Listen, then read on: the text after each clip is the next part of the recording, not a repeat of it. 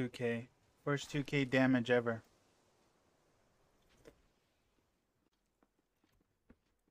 You would have thought NBA 2K, but not Apex 2K, baby. And lost.